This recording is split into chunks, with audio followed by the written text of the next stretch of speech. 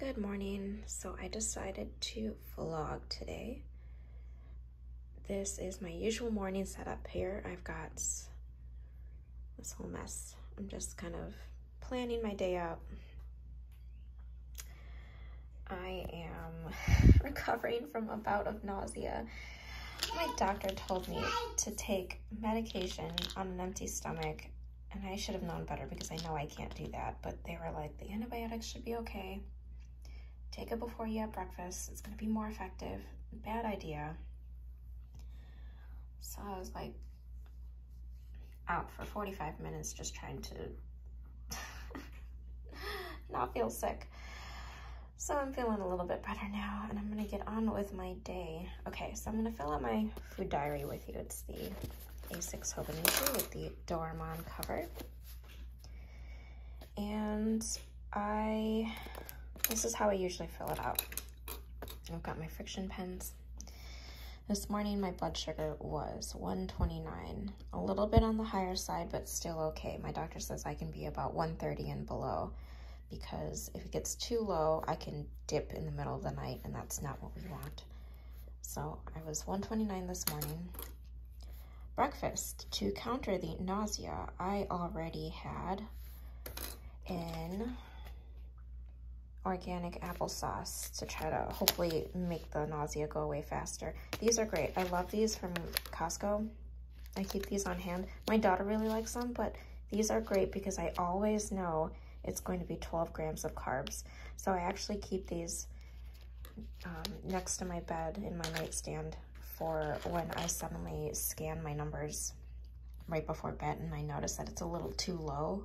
It could still be in a normal range, but if it's at like 80 to 90, that still is a little too low and I could possibly go too low in the middle of the night. So I will have one of these right before bed and that'll usually keep my blood sugars pretty, pretty good. And it's no sugar added, gluten-free. These are great. I highly recommend these if you are looking for an easy snack because I always know it's gonna be 12 grams. So I already had an applesauce. 12 grams carbs. I'm about to have one angelic toast, which is 12 grams with avocado. So I'm gonna have an avocado toast topped with some cherry tomatoes, which I'm not going to count. So any of the veggies, I don't have to. And earth balance, which is like vegan butter. So I can have that. I'm not going to count that as well. And when I mean angelic toast, I mean this brand right here. It's by Angelic Bakery. It's local to me, but they sell it at Costco. It's a sprouted whole grain, seven grain bread, and it's always 12 grams per slice. And my blood sugar seems to really like it, which is great. I'm not a low carb person. I mean, I have to be, but I, I like my carbs. I'm a diabetic who likes my carbs. I can't cut it out completely. And um, so when I want bread in the morning, if I want a light breakfast, I can have my bread and still feel like, you know, I'm not missing anything. So that's what the label looks like. Highly recommended. It's, uh, I've had this, I've, I've been having this for like, you know, a year or so now, and it, my blood sugars really like it. So I can have um, even two slices for 24 grams and still be okay, like if I want a sandwich or something. So I'm about to have all of that. I'm just gonna keep breakfast light because I just had my weird bout of nausea. Um, and then I will probably fill that out, um, well, I will fill it out after my two hour reading right here, and I will mark that in red. And then after breakfast, I will take my medication, this has been one of the best decisions ever is this entire pill box from Amazon because I had such a hard time trying to keep up with it because I just had them all in like a just like a one like a week thing. And this way I can separate my vitamins by morning noon and night and I feel like it's a little less um, on my body especially because I can't take vitamins or anything on an empty stomach, so even taking them all at once kind of gets a little bit, this looks like it's intense, but it's really not. Uh, my medication's really at the top, and then everything else is just vitamins. I just make sure to take vitamins all the time. And then the hair and nail gummies have really saved my nails because my nails were chipping really badly. But uh, I will link this down below because, man, ever since I've started using this, I've been so consistent with taking everything, even my medication too. Sometimes I would just forget, especially for on the go. Whereas if I'm on the go, I just grab the day's uh, vitamins with me, pop it into my purse, and I'm good to go. This is great. I love it. And I always film on Sundays, so that's why Sunday is empty. I do my morning planning, so that's why I have my Weeks Mega out. I have my scribble journal, so if I need to make any notes for the day, or if I just have thoughts or dreams that I want to quickly write down. This is my new planner case. I love this thing. It is, I don't know who it's by, but I'll link it down below. I got it on Amazon. It's pretty cheap. It was like $6. And the only thing is, is I kind of wish it has a couple more loops so I can, you know, because I have, you know, my pens that I use. But all of them are my colors that I use with my favorite color, mild liner. And then this top opens up as well. And it's got this like strap on the side. It's really nice. It's really lightweight and handy. And I just kind of pop it anywhere, but it's got the two slot pockets here. So I've got some post-its. I pulled out most of my post-its and sticky notes so I can just use them up because I've just held on to them for too long. I've got more sticky notes back here. I've got the new ones that I bought in my favorite color. I'm really noticing that my favorite color is turning up in stationery, which has been really fun. Hand lotion, correction tape, and then my expensive and unnecessary Midori list stamp. It's nice, I like it, but it's just so overpriced. I wouldn't recommend it. And then my washi dot stickers. I love these. I bought them in all different colors. I use a dot system for tracking things on my in my planner. So the red is all for my health things, and then purple is for like personal, like reading and uh, like when I finish a book or something. And then I have my to-do list. Um, so it's quite short. Last week was really busy because we were hosting friends. And uh, that, that required a lot of like making sure I just had the house clean and all of that because they were staying overnight. This is a really fun thing. I got this at the Elkhorn Flea Market. It's a metal clipboard from the 50s. And it's got the felt bottom. It's got the calendar from 1951 to 1955, the first date of the month and what day it falls on during the week, all the way to December. It's from the Bowman Products Company. And this is really cool because it is a perpetual calendar that I can adjust for each month. Got it for $5 at the flea market, so I love that. And I love the 50s. The 50s are my one of my favorite eras, one of the many. And I use that to keep my daily to-do list on there. And my daughter loves to go check the mailbox, so we make up little things of mail for her so she has something to get in the mail because she doesn't get mail. Um, and sometimes we'll give her junk mail so she feels like she's getting something too, but that's what that's from. And I recently started Jane Austen's England, Daily Life in the Georgian and Regency Periods. So I really am excited to dig in. I just started, I'm only a few pages in, but the only thing is, is I noticed in the maps, this is map showing the main places in Hampshire where Jane Austen lived. And I understand that this is more of like the Hampshire area, but there's Chawton. And I think Chawton is right here. And Bath is only in like right here. She spent five years in Bath, but I don't understand why it's like not here. I mean, would it be up here outside the border? It just feels like if you're gonna label all the places that Jane Austen lived for the majority of her life, I feel like Bath should be listed, but Bath is nowhere on here. Am I going crazy? Do you see it? I don't know. She She was there for five years, so I just think it's just kind of strange. I don't know the geography of England. I don't live there, but I'm just kind of basing this off of my own Austen knowledge. So you tell me. I don't know. I just found that really strange. I That was like the first thing I fixated on. I was like, am I going crazy? And I hadn't even started reading the book. So, so far, it's, um, I, I've just dived in. So it's chock full of information. I've heard good reviews about it. It's a really thick book. So I've finished all the library books that are on my uh, Jane Austen July reading list. So those can be ready to go. I'm thinking I might just renew them just to save them for a like TBR recap, but I'm glad I got the library books done. But I'm gonna go have my coffee and my breakfast and I'll check in with you later.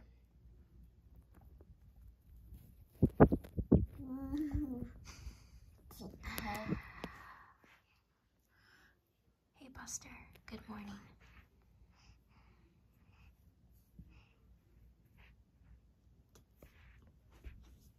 He's in a smaller penned up area because we had friends over. So we had to move his area, but he's usually got a bigger area for him to play around and and run around. He's oh. getting old. He's a senior bunny. So he doesn't have a tendency to want that much space. He he actually likes to just have his little cardboard box cubby and we leave his main pen area open so he can run in and out of that, but... Buster Bunny. Yes, Buster Bunny. So he's such a home bunny, so he doesn't like to explore. We open up the pen sometimes for him to run around and he doesn't really have an interest. So I think in his younger years he really liked being able to run around and, and jump, but nowadays he, he just likes to chill. Okay, we just got back from the library and I thought I would show you our little book haul. We go almost every week, almost. We like to rotate through what we borrow so that way she doesn't get tired of it and then we can, you know, try out new things. I've been trying to incorporate more of my family's culture into her reading. So we have the Animals of Chinese New Year and it's got pictures of babies which she's really fascinated with right now. So I thought that would be a great one. She's really into the Little House books.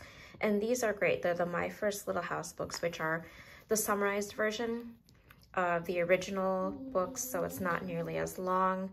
And they've got, you know, larger pictures. So it's really great for toddlers.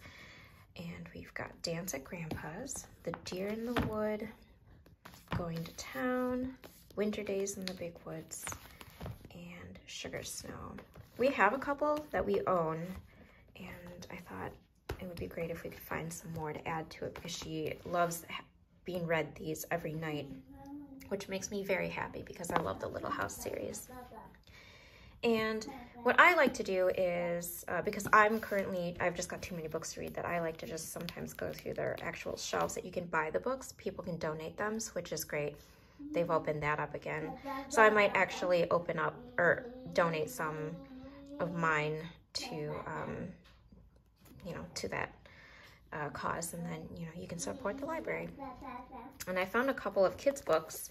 This is Mother Goose, and it's illustrated by Tasha Tudor. I saw Tasha Tudor's name, so I pulled it out, and I thought this was such a great find. So I'm really excited to just go through this one myself and read it. I love, I'm fascinated by Tasha Tudor's life, so I thought this was such a great one for 25 cents. And all the proceeds go to the library. And then I found this one to add to our little house collection. This is County Fair. So now we've got three of those books.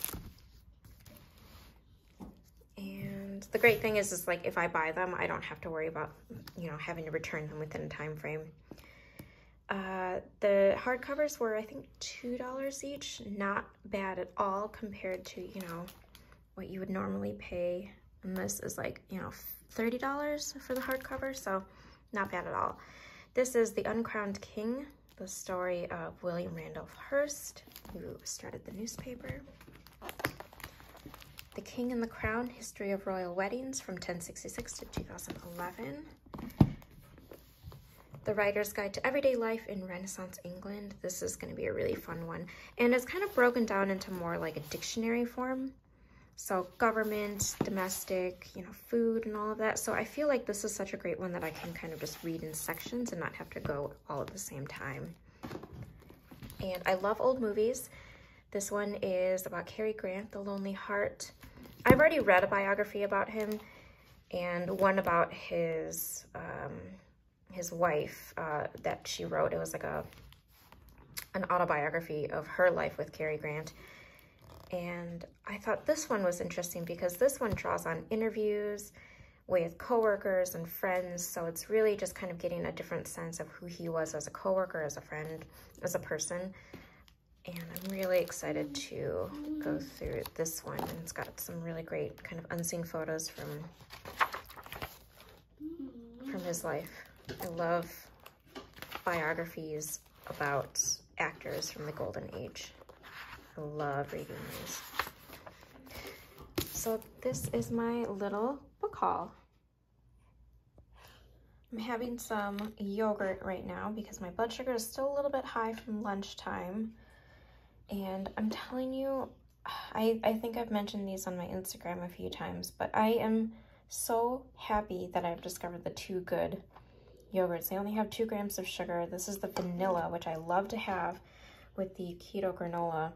But what's great about these is, if I can find the nutrition, it's 12 grams of protein, but three grams of carbs. Yogurt has been such a tricky one because it's usually either high in sugar if you want flavor. Plain yogurt's kind of hard to eat because it's, you know, very tart. And then granola has been really hard to find. Um, so I found this at Costco. It's the Keto Grain-Free Granola, 4 grams net carbs, 2 grams sugar, and it's got a lot of good things. It's pecans, pumpkin seeds, almonds, sunflower seeds, coconut, and hemp seeds. So I can have up to a third cup, and it's only 8 grams of carbs. So this combined, and I don't usually put the whole third cup, can be a bedtime snack too, and then it won't imbalance my blood sugars. Yum. It's now evening and I have just finished a cup of tea. A friend of mine sent this turmeric bliss by Tazo tea for me to try. Oh my god, this is delicious. I need to get a box of this. This is so good. I have been like sipping it to savor the flavor. So I think when I go do uh, some errands tomorrow, I might pick up a box if I can find it. I'm gonna make myself another cup of tea after this and I'm gonna get on with some reading because I have a little moment to myself. I'm gonna continue this and then I'm gonna continue annotating Mansfield Park. I'm not very far into it just because I dedicated a lot of time to just the library books first. And then I'm gonna get a face mask going. I have been really bad at self-care well, since pretty much having my daughter, I just haven't had a whole lot of time to focus on doing little things like this. And I miss doing it. I miss like face masks, facials, doing my nails, just little things to kind of feel like, uh, you know, like a put together normal human being. So I'm just gonna do that while I read and enjoy a cup of tea. And I'm gonna end it here. So thank you so much for being here with me in this little vlog. You get a glimpse of, you know, little bits and pieces of my life and I hope you're doing well. I'll see you in my next video.